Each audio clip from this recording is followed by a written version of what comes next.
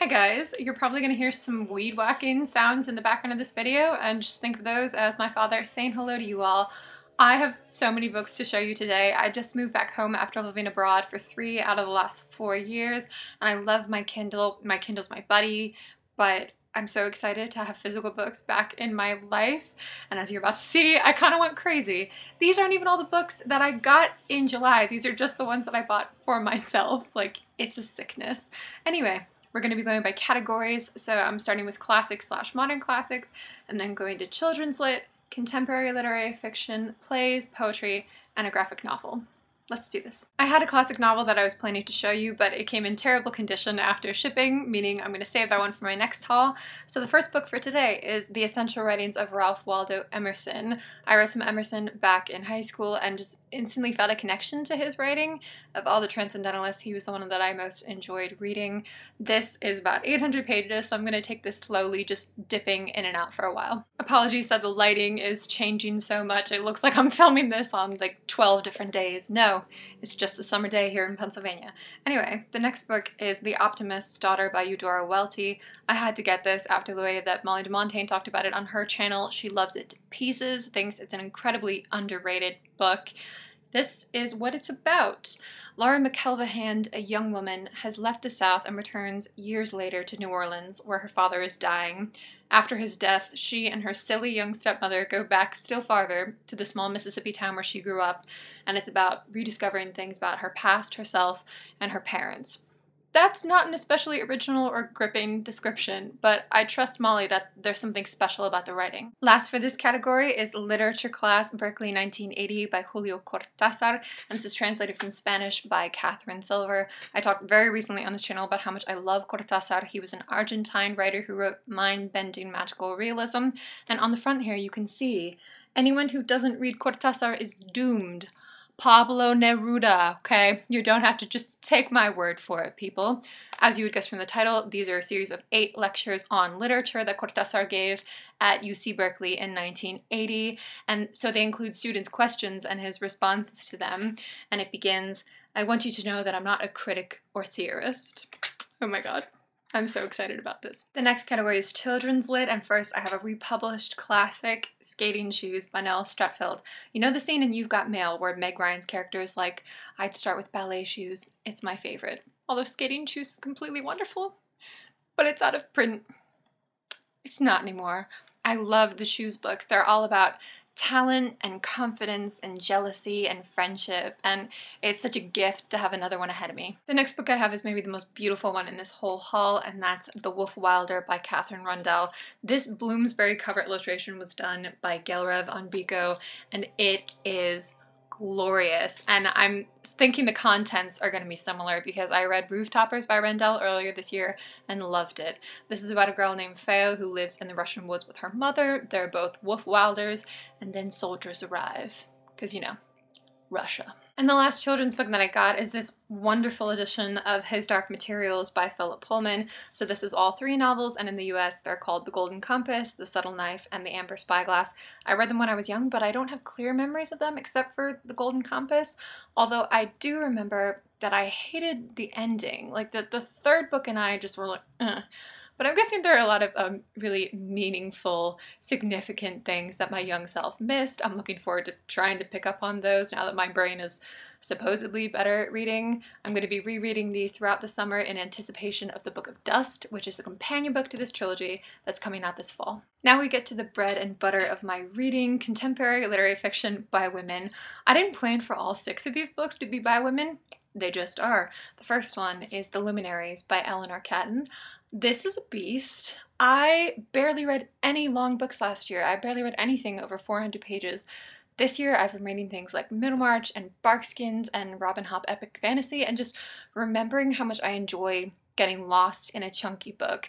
So this won the Man Booker Prize in 2013. It takes place in the 19th century during New Zealand's gold rush, follows lots of different characters and stories, and somehow involves the signs of the zodiac.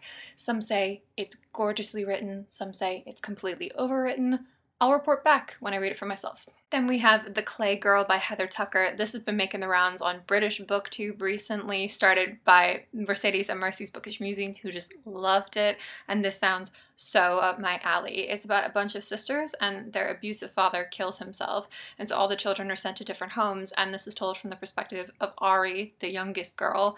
And she apparently has a, a really whimsical way of perceiving the world. I'm going to get to this one soon. Next is Hood by Emma Donoghue. I haven't read any Donoghue before, which is really weird. She's the author most famously of Room and The Wonder, but this is the one I wanted to start with. It's about um, two women in Ireland who have been secret partners for years, and then one of them dies while the other is teaching at their old convent school. And then these are a series of memories from the one who's still alive. If you haven't checked out the Anna and Eric book club run by Anna at A Case for Books and Eric from The Lonesome Reader, I'll leave the link to the announcement video for that down below. It's so exciting. I'm obsessed with them both. I love the sound of the books they're going to talk about. And one of the ones that they chose for July is Nine Folds Make a Paper Swan by Ruth Gilligan. This is about immigration and Jewish communities in Ireland. It sounds fantastic. Ugh, let me get the little slanty lines here. Good. Add some decoration to my outfit. Another writer that I've been planning to read for a long time is Louise Erdrich, so I picked up LaRose. Erdrich is an American Indian author, and this is how this one starts. Late summer in North Dakota, 1999. Landreaux Iron stalks a deer along the edge of the property bordering his own. He shoots with easy confidence, but only when he staggers closer does he realize he has killed his neighbor's son. And this is about Iron trading his own son, LaRose, for that family's son. Uh, I am hoping to love this and then dive into Erdrich's backlist. The last book from contemporary literary fiction is History of Wolves by Emily Fridlund. This is a debut and it's about a teenage girl named Linda and about her relationships with a girl named Lily, with her new history teacher, and with a little boy that she starts babysitting. I'm getting um, really eerie vibes from the description, which is definitely a good thing. This is getting massive praise, so I needed to see what the fuss was about. And look at how sexy the naked hardback is. The next category is plays, and I have two to show you. The first is Sweat by Lynn Nottage, which won the Pulitzer Prize this year.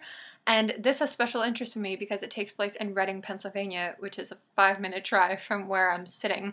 I was listening to the New Yorker podcast in the winter of this year and heard an interview with Nottage and was like, somebody wrote a play about Reading? Like, rundown manufacturing wasteland Reading, but that's exactly what this is about about people living in a factory city that's losing jobs and how race and class play into all their interactions. All right, I've opened the blinds. Let's see if that's any better. The other play is a modern classic called The Children's Hour by Lillian Hellman, and it says a serious and adult play about two women who run a school for girls. After a malicious youngster starts a rumor about the two women, the rumor soon turns to scandal my friends have been recommending this to me for a while, and I just hope that the play itself is much better written than the description. Almost there, you guys. I also bought two poetry collections, the first of which is Beautiful Girls by Melissa Lee-Houghton. Jen Campbell recommended this in a video about mental health, which I'll link down below. The description says, This is not a book for the faint-hearted. The reader has been invited to a sleepover at the asylum, a night in which five-year-old girls drift alone through the wards and where heaven is a place between the sky and the planets, reserved for those with personality disorders. Sounds perfect for me. The other collection is Another America by Barbara Kingsolver. This is a dual English Spanish edition, and the Spanish translation was done by Rebeca Cartes. I have read almost all of Kingsolver's works, and I'm actually going to do an author spotlight on her at the end of this year when I finish everything that she's written. This is her only poetry collection, and she's one of my favorite authors, so I can't wait to get to it. Lastly, I got a graphic novel, Fun Home, a family tragicomic by Alison Bechdel, who created the Bechdel test for movies. If you don't know what I'm talking about, be sure to look it up. She is a writer and a cartoonist, and this is her graphic this is her graphic memoir about uh, her strained relationship with her late father and I love me some wacky families. Wow, at this point it's like I'm in prison. Anyway, those are all the books that I had for you today. I know that this is par for the course for a lot of channels. A lot of people haul this many books every month, but this is like crazily extravagant compared to my normal buying standards.